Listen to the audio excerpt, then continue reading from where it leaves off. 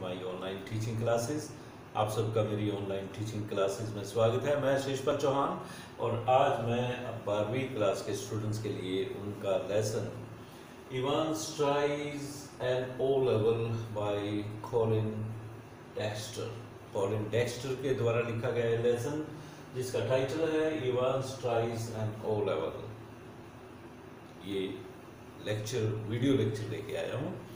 और आप Colin Dexter को देख सकते हैं। He is the writer of this lesson and Evans is sitting behind the bars Evans jail में बैठा हुआ है। अपनी सेल में, अपनी काल, जो कोठड़ी होती है राइट जिसमें कैदी इंडिविजुअली बैठाए जाते हैं। इंडिविजुअल कैदी होते हैं वहाँ वो।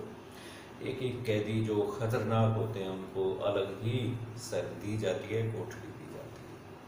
तो इवांस एक लड़का है और क्लेप्टोमैनियक है बाई बर्थ जन्म से ही क्लेप्टोमैनियक क्लेप्टोमैनियक क्या होता है? ऐसा व्यक्ति जो जिसे आदत हो जाए वस्तुएँ उठाने की, चोरियाँ करने की। चोरी ऐसे जैसे आपके घर में आया और बैठा है और आपका पेन दिखाई दे गया, पेन को जेब में डाल लगा भले ही उसके पास बहुत से पेन घर में रखे हो। उसे पता ही नहीं चलता कि उसने कोई चोरी की है। और जहाँ पे भी जाएगा, चीज़ उठा लेगा, दुकान पे जाएगा, चीज़ उठा लेगा, जेब जेब में रखेगा और घर आ जाएगा।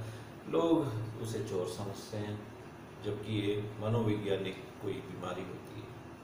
तो क्लेप्टोमैनियक है जेल में है, तीन बार जेल में से भाग चुका है। और इवान्स द ब्रेकर इसे कहा जाता है। मशहूर है इस नाम से इवान द ब्रेकर्स मतलब सलाखें तोड़ के जैसे मर्ज़ी निकल आता है जेल से बाहर। फोर्थ टाइम अब वो जेल में है ऑक्सफोर्ड प्रिजन में। गवर्नर के अंडर है। गवर्नर बहुत ही परेशान है। बिल्कुल चौकसी बरती हुई उसने।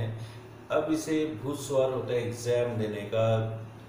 ओ लेवल कोई टेस्ट है एग्ज़ाम है जर्मन ग्रामर में लैंग्वेज में तो वो पास करना चाहता है। ट्यूशन का अरेंजमेंट हुआ है। जेल वालों ने यहीं पे इसकी नाइट क्लासेस अरेंजमेंट की। अगर बाहर होता तो ये इसे काफ़ी पैसा उसके लिए देना पड़ता। तो कहानी चल रही है और ये थर्ड वीडियो लेक्चर है मेरा। This is video lecture third and this Colin Dexter बताया था मैंने आपको, उनतीस सितंबर 1930 को इनका जन्म हुआ था। और इसी वर्ष 21 मार्च को इनका देहांत हो गया। Let's recall video lecture two video lecture two जहाँ हमने समाप्त किया था, वहाँ से थोड़ा लेके चलते हैं, फिर आगे थर्ड में McLeary's hitherto amiable demeanor was slightly ruffled by this tasteless little pleasantry and he answered Jackson somewhat sourly. Scene कहाँ समाप्त हुआ था? मैक्लीरी इनविजिलेटर के रूप में आया हुआ है, पादरी है, चर्च का पादरी है। और जैक्सन जैसा कि उसे कहा गया था गवर्नर के द्वारा कि उसकी पूरी तलाशी लें, कोई भी हमें लूप होल जिसे कहते हैं, नहीं छोड़ना है। कोई भी ज़रा सी भी कमज़ोरी नहीं छोड़नी जहाँ से ये फ़ायदा उठा ले इवंस और भाग जाए, बदनामी हो जाएगी जेल की। तो उसकी भी तलाशी, उसके पास रबर का एक रिंग टाइप था, जिसमें हवा भरते हैं, बच्चे खेलते हैं या बैट के रूप में इस्तेमाल करते हैं स्विमिंग में तो वो निकला उसके सूटकेस से तो इसने जैक्सन ने पूछा कि ये what for are you carrying this thing किस लिए ये चीज़ ले रहे हो आप? उससे पूछ लिया उसने। और जब पूछा तो एकदम उसका जो पीसफुल डिमन डिमिनर था डिमिनर होता है अपियरेंस चेहरे की, वो थोड़ी रफर्ड होगी डिस्टर्ब सी होगी एकदम, जैसे उसे इरिटेशन हुई हो, गुस्सा आया।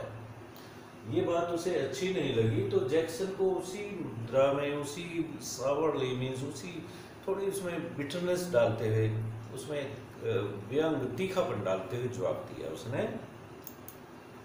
If you must know I suffer from hemorrhage, and when am sitting down for any length of time, ये कहा उसने।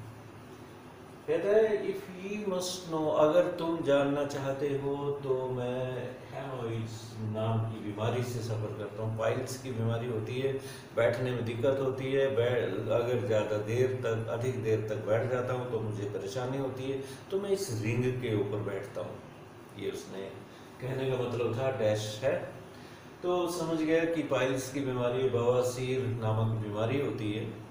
और very sorry sir I didn't mean to फिर उसने सॉरी फील की। आगे बढ़ते हैं। The embarrassment was still reddening Jackson's cheeks when he found the paper knife at the bottom of the case. Suitcase में एक और चीज़ निकली। पेपर नाइफ पड़ा था। और उधर की एम्बेरसमेंट जो से शर्मिंदगी सी हुई कि ऐसा प्रश्न पूछ लिया। तो उसकी व्यक्तिगत बीमारी ही ऐसी नाजुक सी है जो बताई भी नहीं जाती लोगों को। तो अभी भी उसके चेहरे पे रे, रेडिश जो यहाँ आ जाता है ग्लो आ जाता है रेडिश शर्म में हो जाता है ब्लशिंग हो जाती है। तो अभी भी प्रेजेंट थी और फिर उसने पूछा पेपर नाइफ के बारे I think I would I had better keep this though if you don't mind that is sir that is sir कहते हैं। कि अगर आपको बुरा ना लगे, कुछ पोलाइटली कहा होगा, ये चीज़ मैं रख लूँ अपने पास, ये पेपर नाइफ रख लूँ, ये मेरे लिए बेहतर होगा, रख लूँ। आई हैड बेटर मीन्स मेरे लिए अच्छा होगा, इस, ये फ्रेज यूज़ करती है की जाती है। जैसे आप कहना चाहो किसी को, तुम्हारे लिए अच्छा है, चले जाओ। यू हैड बेटर यूज़ होता है। You better go home short में बेटर गो होम कह देते हैं. But full phrase is you had better go right तो उसके बाद में। Eighteen A M before the governor heard their voice again नौ बज के अठारह मिनट का टाइम था सुबह का। तो गवर्नर ने उनकी वार्तालाप की बातें फिर सुनाई। क्योंकि वो जो माइक्रोफोन था टेलीफोन कहते हैं जिसे हम लटका हुआ था ऑन था वहाँ पे, वो सारी बातें सुन रहे थे। And it was clear that the examination was going to be more than a little late in getting underway. तो ये स्पष्ट हो चुका था कि एग्जामिनेशन जो एग्जैक्ट टाइम था, उस पर शुरू होने नहीं जा रहा है। सवा नौ बजे शुरू होना था। मैक्वेरी बोलता है you have got a watch Evans को कहता है मैकलेरी इन्विजिलेटर जो उसकी परीक्षा लेने आया मतलब जो उसकी निगरानी रखने आया कहता है कि घड़ी है तुम पे? इवांस कहता है यस सर हाँ जी. फिर चुप।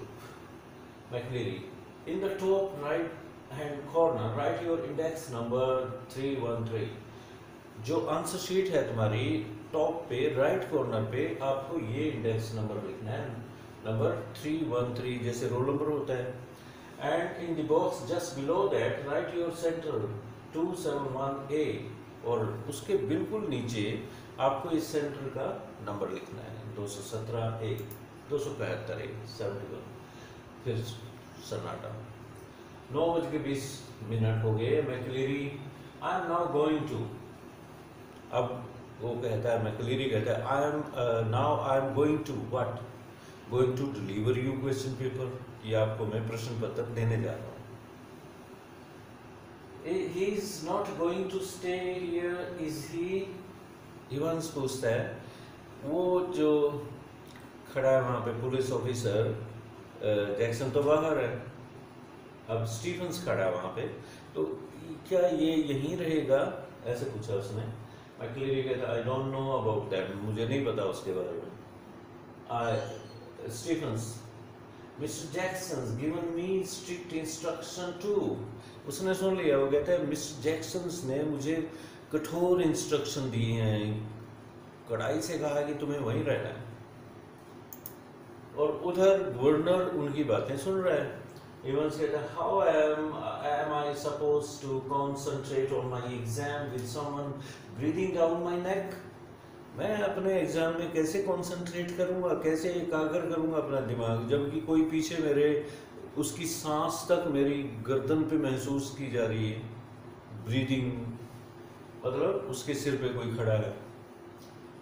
And Christ sorry sir I didn't mean फिर उसकी तरफ़ देख के जो शर्मा गया हो कह रहा सॉरी सर हे भगवान सॉरी सर मेरा ये मतलब नहीं था। The governor reach for the phone governor ने फ़ोन उठाया कहने के लिए और आदेश देने के लिए Jackson good get Stephens out of that cell, will you? I think we are perhaps overdoing things.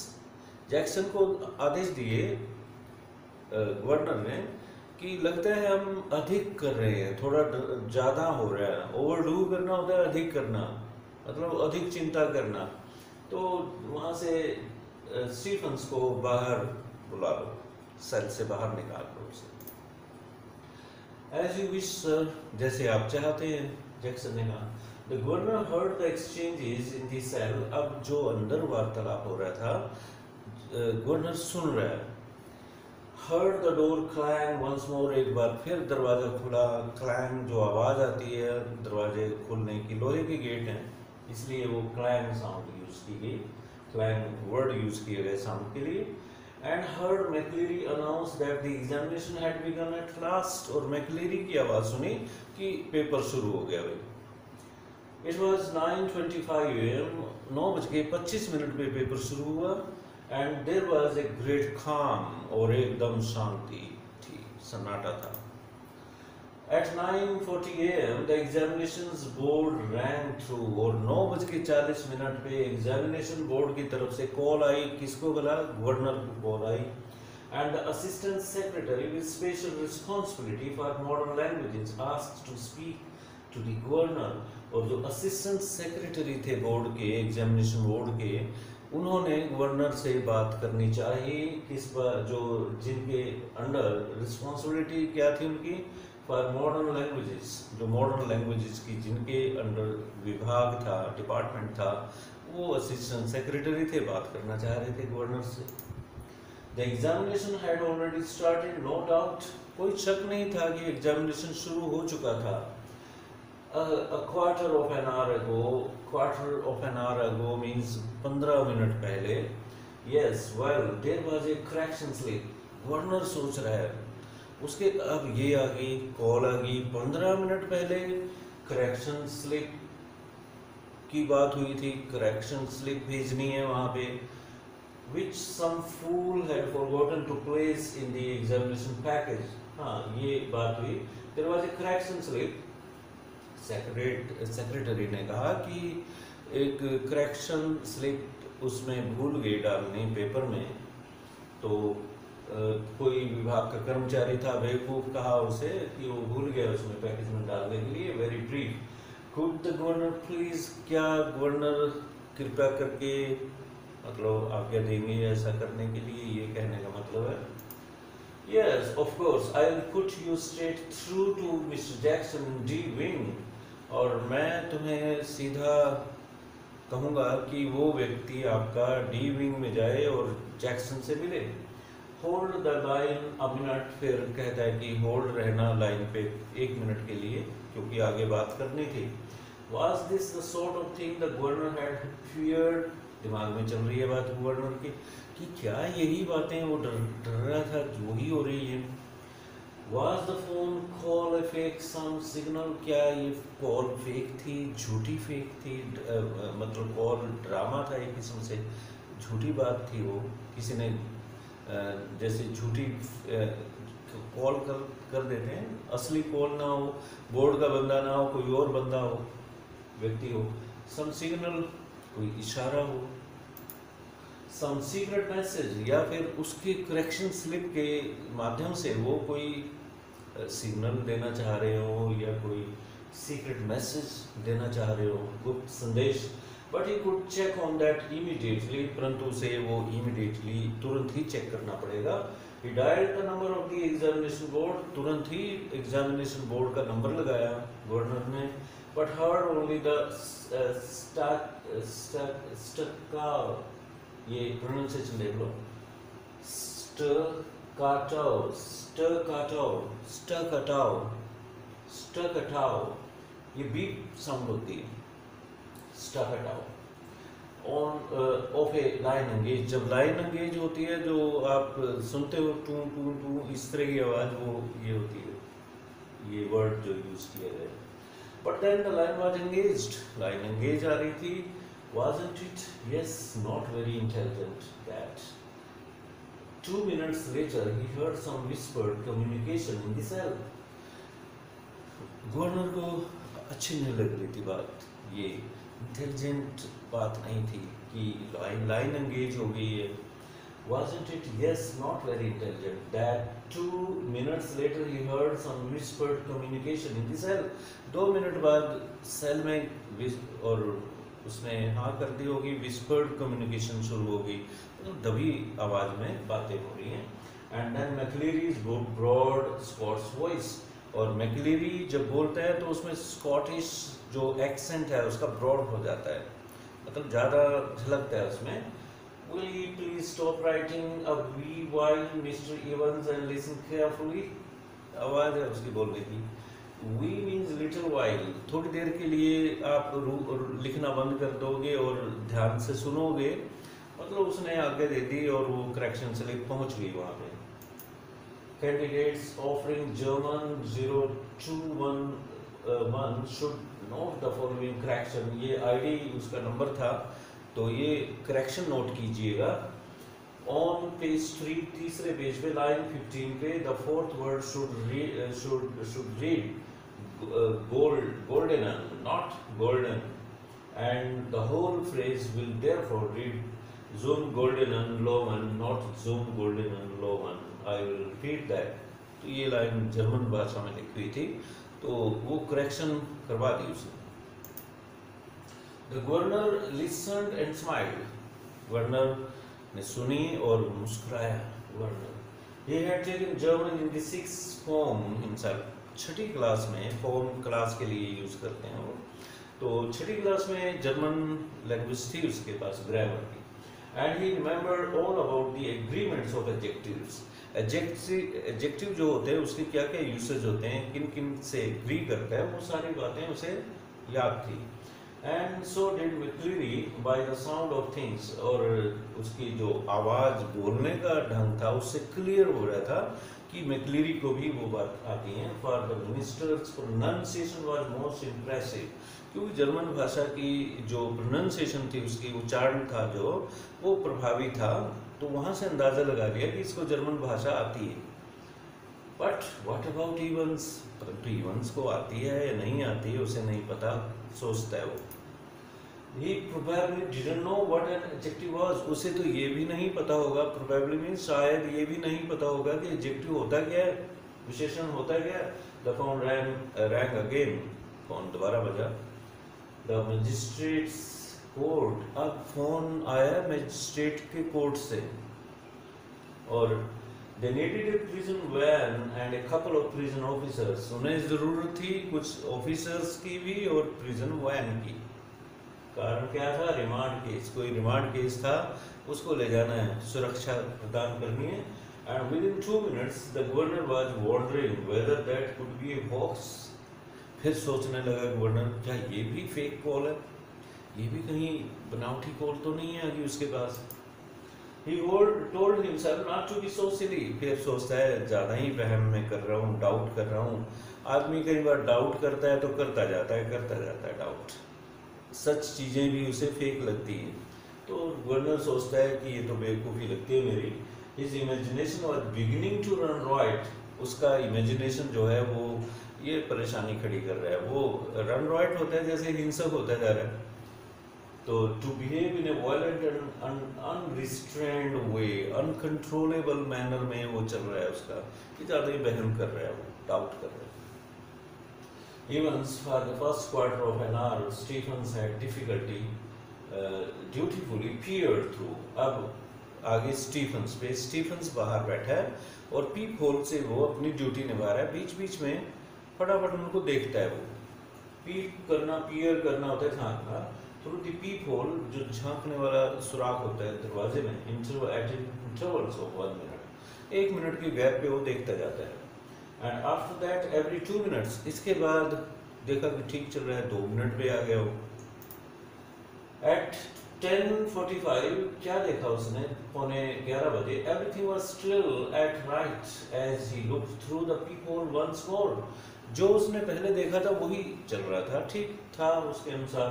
It took four or five seconds चार या पाँच सेकंड के लिए उसने देखा no more what was the point it was always more or less the same Stephens सोचता है कि अंदर वही स्थिति है। इवांस बैठा हुआ है और दरवाजे की तरफ़ देखे जा रहा है। कुछ पोज उसका जो इवांस का है, वही है। कोई चेंज नहीं है उसमें। Evans his pen between his lips pen उसने अपने होठों में ऐसे मुँह में रखा हुआ है। Sat staring straight in front of him और सामने देख रहा है दरवाजे की तरफ़ towards door seeking it seemed जैसे तलाश हो उसे सीख करना, तलाश करना होता है। जैसे लगता था some sorely needed inspiration from somewhere शायद कहीं से कोई प्रेरणा मिलेगी, उसको इंस्पिरेशन आएगी और आंसर्स बता देगी। उस उम्मीद में जैसे बैठा हो कोई, ऐसे बैठा हुआ एंड अपोजिट हिम और उसके सामने मैकलीरी है। सीट इज़ स्लाइटली एस्क्यू थोड़ा बैठा हुआ है, टेढ़ा होके बैठा है not straight askew from the table now his face in semi profile table ऐसे कुछ टेढ़ा हो गया, वो कोहनी रख के बैठा हुआ, जैसे आराम की पोज में कुछ पढ़ रहा हो। और जो प्रोफ़ाइल है चेहरा, वो पूरा नहीं दिखाई दे रहा उसका। हिज हेयर और बाल उसके as Stephens had noticed earlier जैसे कि स्टीफन्स ने शुरू में ही देखे थे amateurishly clipped pretty closely to the skull. Amateurishly, amateur कौन होते हैं प्रोफेशनल जो नॉन प्रोफेशनल होते हैं उन्हें amateur कहते हैं जो पेशेवर नहीं होते amateur होते हैं जो अपने काम के लिए जो खेल जैसे स्पोर्ट्स स्पोर्ट्समैन होते हैं खिलाड़ी होते हैं amateur वो होते हैं जो अपने काम, उसके लिए पैसा नहीं लेते, उन्हें कोई ऑर्गेनाइजेशन पैसा देती है तो बिल्कुल छोटे छोटे बाल हैं उसके his eyes behind the pebble lenses और उसकी आँखें पेबल छोटे लेंस होंगे वो।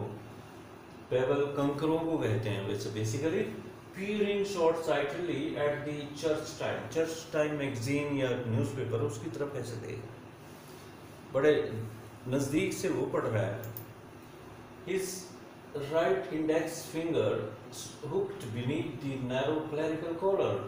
जो कॉलर होता है यहाँ पे, उसकी उंगली जो इसे इंडेक्स फिंगर कहते हैं, दिखाई दे रही तो ऐसे ऐसे ऐसे हाथ ऐसे रखा हुआ है। जैसे पढ़ रहा है तो उसमें हाथ कहीं पे भी हो सकता है। The nails meticulously manicured nail दिखाई दे रहे थे। तो अच्छी तरह से केयरफुली वो कट थे ट्रिम्ड थे कटे हुए थे slowly stroking the short black beard धीरे धीरे वो अपनी ब्लैक बियर्ड को ऐसे स्ट्रोक भी कर रहा था ऐसे जैसे गुजारना होता है ऐसे कर रहा था हाथ फेरते हैं उधर ध्यान उसका उसमें न्यूज़पेपर में था At 10:50 a.m., the receiver crackled to life, and the governor realized he had almost forgotten Evans for a few minutes. दस बज के पचास मिनट पे माइक्रोफोन माइक्रोफोन जो था, क्रैकर हुआ, उसमें जान आ गई दोबारा। क्रैकर मीन्स रैंग बजा वो, उसमें जैसे जान आ गई और वर्नर को लगा कि वो तो कुछ पिछले कुछ मिनटों में भूल ही गया था इवंस को, अपने काम में खो गया था। इवंस, आवाज़ आ रही है वहाँ से। प्लीज़, सर विस्पर, धीरे बोल रहा हूँ। कृपा करके, सर, प्लीज़, सर फिर कहा उसने प्लीज़, सर, ज़ोर से louder Evans would you mind if I put a blanket around me shoulder sir कहा उसने कि क्या आप बुरा तो नहीं मानोगे? मुझे आगे दे दो कि मैं अगर ब्लैंकेट को कंधों तक ले आऊँ, अपने शोल्डर्स को ढक लूँ. इट्स ए बिट पाकी इन ईयर इजंट इट थोड़ा ठंड है अंदर? क्या नहीं है? ये टैग क्वेश्चन किया उसने। साइलेंट फिर चुप हो जाते हैं। Evans there one on my bunk here sir बताता है कि वो बंक पे रखा है ऐसा।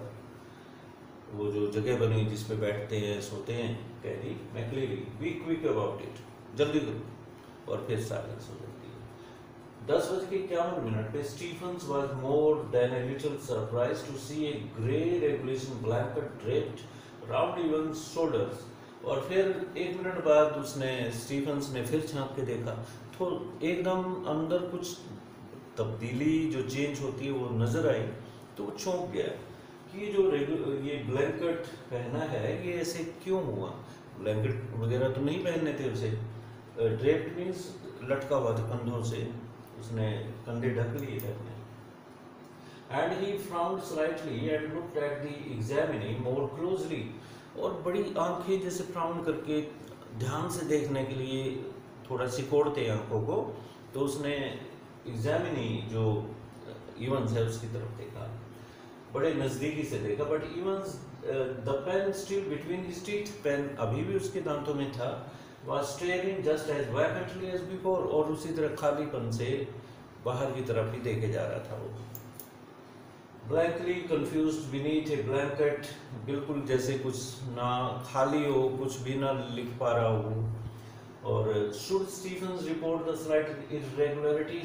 के मन में आया कि क्या ये जो अनियमितता हुई है अंदर, ये जो चेंज आई है, क्या उसे बताना चाहिए गवर्नर को?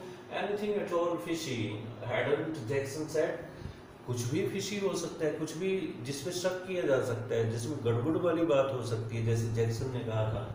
He looked through the peephole once again peephole से फिर देखा उसने and even even as he did so जैसे ही उसने कि Evans pulled the dirty blanket more closely to himself और Evans ने वो dirty blanket गंदा सा blanket था और अपने टाइट कर लिए Was he planning a sudden Batman leap or suffocate McLeary in the blanket? Black uh, blanket? क्या वो जंप करके मैकलीरी को ब्लैंकेट में सफोकेट करेगा उसका दम घोटेगा? Don't he don't be daft फिर अपने आप को ही कहता है ज़्यादा मूर्ख मत पर बनो ज़्यादा डैप्ट होता है सिली ज़्यादा शक मत करो। There was never any sun on the side of the prison क्योंकि इस साइड पे सूरज की रोशनी जो होती है धूप नहीं आती। नो हीटिंग कोई हीटर नहीं है अंदर। Either during the summer months and it could be quite chilly in some of the cells कुछ सेल्स में ठंड होती है बहुत, इसलिए शायद उसको ठंड लग रही है। अपनी ही एक्सप्लेनेशन उसे अपने आप ही दे रहा हो। Stephen decided to revert to his earlier every minute observation उसने बस यही डिसाइड किया कि अब गैप नहीं दूँगा एक एक मिनट बाद अंदर की ऑब्जर्वेशन लेता रहूँगा। At 11:20 a.m., the receiver once more crackled across the silence of the governor's office.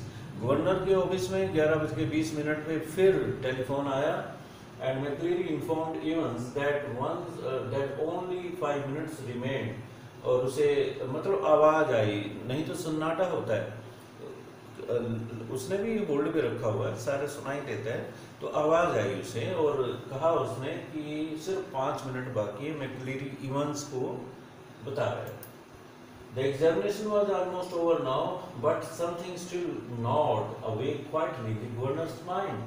Examination में पाँच मिनट थे लगभग खत्म था एग्जामिनेशन परंतु गवर्नर के दिमाग में अभी भी एक चुभन बाकी थी नौ होता है जैसे काट रही थी कोई चीज़ ही reach for the phone once more फिर फ़ोन उठाया उसने ग्यारह बज के बाईस मिनट पे Jackson shouted along the corridor to Stephen और स्टीफन्स को उसने कुछ कहा और जैक्सन जैक्सन को कहा और जैक्सन ने स्टीफन को आदेश दिए the governor wanted to speak with him hurry man कि गवर्नर तुमसे बात करना चाहता है, जल्दी करो. Stephen picked up the phone apprehensively जैसे किसी बॉस का फ़ोन आ जाता है मिनिस्टर किसी बड़े ऑफिसर का, जो कर्मचारी होते हैं, वो डरता है। एकदम एप्रीहेंसिव हो जाता है कि क्या कहेगा, कोई डांट तो नहीं पाएगा। And listen to the rapidly spoken orders और जो ऑर्डर्स कहे गए बड़े ध्यान से सुना उसमें रैपिडली होता है रैपिडली फटाफट कहे गए Stephen himself was to accompany McCleary to the main prison gates understood और उसे कहा गया था कि तुम मेन गेट पे मैक्लेरी को छोड़ने तुम ही जाओगे स्टीफन्स को कहा था। Stephens personally was to make absolutely sure that the door was locked on Evans और उसे absolutely, बिल्कुल, पूरी तरह से श्योर होना पड़ेगा, इस विश्वस्त होना पड़ेगा कि उसने दरवाज़ा पूरी तरह से बंद किया इवंस का, जब उसे अंदर बंद करके आएगा मैक्लेरी हैड लेफ़्ट सेल और मैक्लेरी जब बाहर आएगा तो दरवाजे को इंश्योर करेगा बंद। है अंडरस्टूड अंडरस्टूड ये बात हुई इनकी। और यही हमारा ये वीडियो लेक्चर थर्ड समाप्त हो जाता है। फोर्थ वीडियो लेक्चर लेके मैं जल्दी आता हूँ। Till then have